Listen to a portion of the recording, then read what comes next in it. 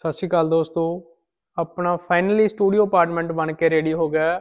ਆਜੋ ਤੁਹਾਨੂੰ ਦਿਖਾਈਏ ਇਹਦੀ ਛੋਟੀ ਜਿਹੀ ਝਲਕ ਆਜੋ ਫਿਰ ਹਾਂਜੀ ਇਹ ਆਪਣਾ ਆਫਿਸ ਏਰੀਆ ਜਿੱਥੋਂ ਬੈਠ ਕੇ ਆਪਾਂ ਪੂਰਾ ਵਰਲਡ ਟੂਰ ਆਰਗੇਨਾਈਜ਼ ਕਰਨਾ ਹੈ ਔਰ ਵਿਕੇਸ਼ ਭਾਈ ਬੈਠੇ ਆ ਆਪਣਾ ਗੱਲ ਕਰਦੇ ਆ ਇਹਨਾਂ ਦੇ ਨਾਲ ਕੀ ਕਰ ਰਹੇ ਹੈ ਹਾਂਜੀ ਵਿਕੇਸ਼ ਭਾਈ ਕੀ ਕਰ ਰਹੇ ਹੋ ਤੁਸੀਂ मैं वर्ल्ड टूर के लिए वीज़ा और रोड परमिशन की फॉर्मेलिटीज़ भर रहा हूँ ਉਹ ਵੈਰੀ ਗੁੱਡ हाँ जी ਚੱਕ ਦੋ ਕੰਮ ਨੂੰ ਕਿੰਨਾ ਟਾਈਮ ਲੱਗ ਜਾਣਾ ਆਪਾਂ ਨੂੰ ਵੈਸੇ ਤਿਆਰ ਕਰਨ ਨੂੰ ਇਹ ये तो चल ही जाना है जब तक हम टूर पे नहीं निकलते कोई ना कोई परमिशन आगे आती रहेगी जिसके लिए हमारे को तो अप्रूवल्स लेने ही होंगे ਲੋ ਜੀ ਵਿਕੇਸ਼ ਭਾਈ ਪੂਰੀ ਮਿਹਨਤ ਨਾਲ ਲੱਗੇ ਹੋਏ ਆ ਵਰਲਡ ਟੂਰ ਦੀ ਤਿਆਰੀ ਕਰਨ ਲਈ ਕਹਿ ਰਹੇ ਰੋਡ ਪਰਮਿਸ਼ਨ ਹੈ ਵੀਜ਼ਾ ਪ੍ਰੋਸੈਸਿੰਗ ਕਰ ਰਹੇ ਆ ਚਲੋ ਤੁਹਾਨੂੰ ਅੱਗੇ ਦਿਖਾਉਨੇ ਆ ਇਹ ਆਪਣਾ ਹੈਗਾ ਰੈਸਟ ਰੂਮ ਏਰੀਆ ਜਿੱਥੇ ਆਪਾਂ ਕੰਮ ਕਰਨ ਤੋਂ ਬਾਅਦ ਰੈਸਟ ਵੀ ਇੱਥੇ ਹੀ ਕਰਨੀ ਹੈ।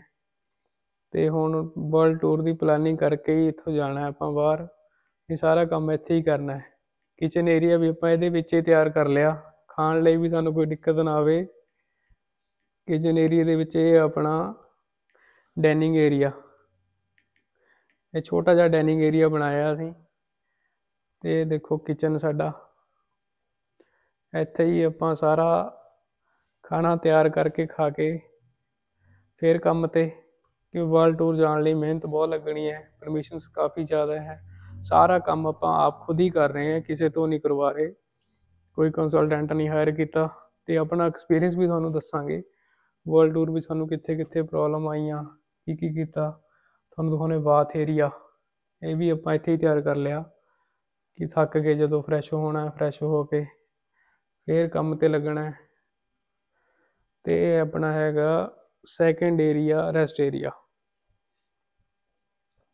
ਇਹਦੇ ਵਿੱਚ ਆਪਾਂ ਇੱਕ ਰਿਲੈਕਸਿੰਗ ਚੇਅਰ ਵੀ ਲਾਈ ਹੈ।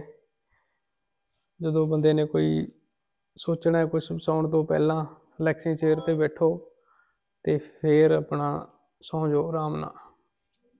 ਇਹ ਸੀਟਿੰਗ ਏਰੀਆ ਸੀਟਿੰਗ ਏਰੀਆ ਦੇ ਵਿੱਚ ਵੀ ਦੋ ਰਿਲੈਕਸਿੰਗ ਚੇਅਰ ਲਾਈ ਆਪਾਂ।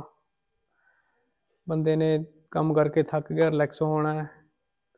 ਤੇ ਸੀਟਿੰਗ ਏਰੀਆ 'ਚ ਬੈਠ ਕੇ ਕਿਸੇ ਨੂੰ ਮਿਲਣਾ ਹੈ। ਸੈਕੰਡ ਆਪਾਂ ਨੇ ਵਰਲਡ ਟੂ ਵਰਲਡ ਦਾ ਮੈਪ ਵੀ ਇਹਦੇ ਵਿੱਚ ਲਾਇਆ। ਆਪਾਂ ਇੰਡੀਆ ਤੋਂ ਕਿਹੜੀ ਕੰਟਰੀ ਪਹਿਲਾਂ ਜਾਣਾ ਪੂਰੀ ਮਾਰਕਿੰਗ ਕਰਕੇ ਚੱਲਾਂਗੇ। ਕਿੱਥੋਂ ਕਿੱਥੋਂ ਬਾਰਡਰ ਕ੍ਰਾਸ ਕਰਨੇ ਆਪਾਂ।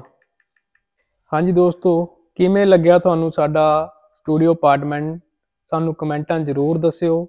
ਤੇ ਵਿਕੇਸ਼ ਜੀ ਤੁਹਾਡੇ ਨਾਲ ਗੱਲ ਕਰਨਗੇ ਹਾਂਜੀ ਵਿਕੇਸ਼ ਜੀ हाँ जी सत श्रीकाल सारे दोस्तों को हमारे यूट्यूब व्यूवर्स जितने भी लोग हमारा ये वीडियो देख रहे हैं मैं उन सबको बताना चाहूँगा कि हम जो वर्ल्ड टूर पे जा रहे हैं ये हमारा फर्स्ट एक्सपीरियंस है और हमने इससे पहले कोई एक्सपीरियंस नहीं किया है हम चाहते हैं कि आप लोगों में से अगर किसी ने कोई वर्ल्ड टूर का या आउट ऑफ इंडिया का बाय रोड का कोई भी एक्सपीरियंस है तो हम लोगों के साथ शेयर करें और अपना इनपुट ज़रूर दें थैंक यू सो मच